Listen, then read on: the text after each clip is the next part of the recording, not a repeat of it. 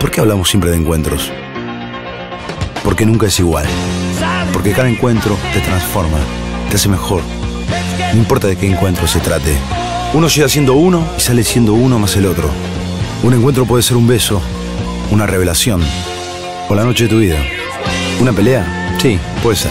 También es un encuentro. Pero también lo es una reconciliación.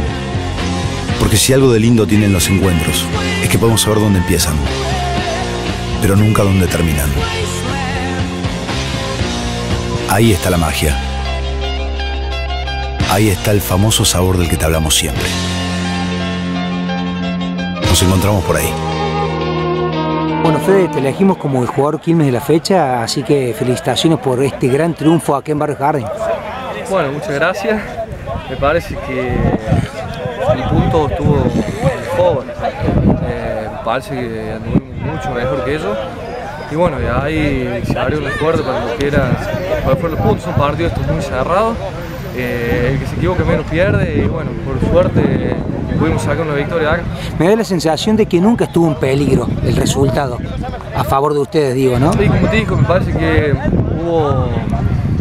O sea, estuvimos muy bien en los forward y eso no lo que sería en las formaciones fijas.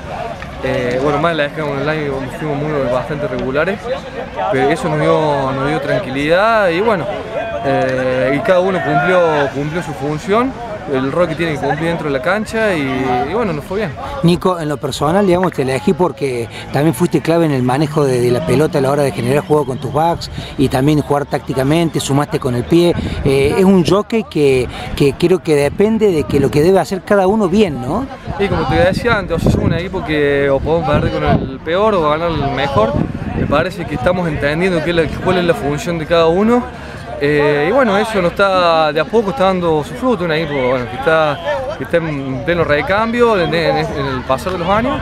Y bueno, se van de chicos que ya tienen un par de años en primera, se van a mover para entender el juego y lo que es el roce de, la primera corda, que la verdad bueno, que, es un nivel bastante alto.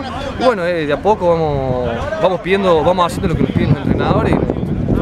bueno, muchas gracias y